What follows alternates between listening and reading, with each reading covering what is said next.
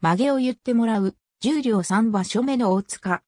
右から3人目は、内田勝夫豊国藩、1937年11月30日隊は、大分県中津市出身で、時津風部屋に所を属した大相撲力士。最高位は、東張り出し小結び。現役時代の体格は176センチメートル、131キログラム。得意手は、左四つ、より、突き、押し、内掛け。大分県立中津南高等学校から中央大学に進学し、同大学の相撲部では首相を務めるなど活躍した。在学中の1960年、周囲の反対を押し切って、同郷の元横綱、双葉山が率いる時津風部屋に入門。同年5月場所において、幕下付け出で初土俵を踏んだ。学生相撲出身者の各界入りは、紅陵大学出身の吉井改め吉井山以降も幾人かあった。しかし、デビューの場所で幕下に付け出されたのは、その吉井山以来、12年ぶりの事例であった。同場所では、8戦全勝という好成績を挙げて、いきなり幕下優勝を飾っている。1960年11月場所後、重量に昇進。そこでも順調に勝ち進み、翌年11月場所で新入幕を果たした。そして入幕を機に大塚から京里、大分県の旧称、文語にちなんだ豊か国へ四股名を改めた。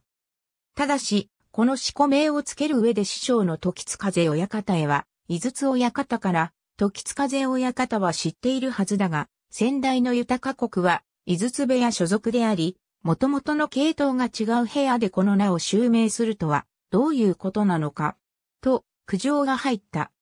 結局両親方の話し合いの結果あくまでも本人の故郷にちなんだものであり、仕込めを奪う意図がないことが認められ、井筒親方の許しが出たので、襲名問題は解決。一方で、相撲を取りながら学業の方もちゃんとこなし、同年3月無事に大学を卒業している。月押し相撲に長けていて、上位陣もしばしば倒した。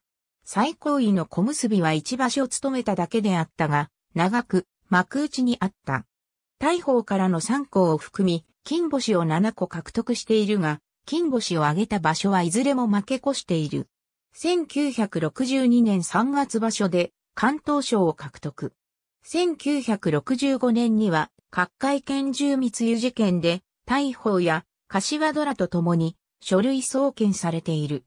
1967年1月場所で技能賞を獲得している。1967年11月場所後、連続37場所を務めた幕内から重量に陥落。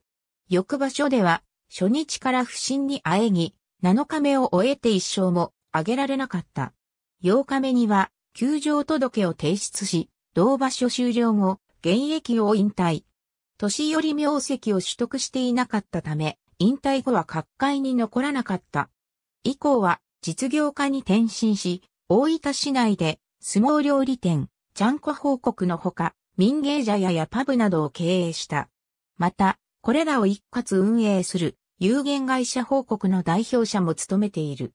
なお、相撲料理店、報告は2013年5月31日をもって閉店した。ありがとうございます。